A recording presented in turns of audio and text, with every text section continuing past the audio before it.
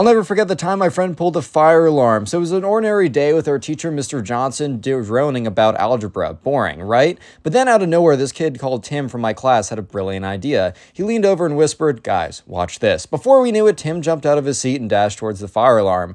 We all stared, jaws dropped, as he pulled the lever with a grin on his face. The ear piercing alarm blasted through the halls and chaos erupted. Kids screamed, covering their ears, and the teacher yelled, trying to maintain some sense of order. It was a scene from a crazy movie. Mr. Johnson's bulged as he yelled, Tim, what have you done? Why did you pull the fire alarm? And that's why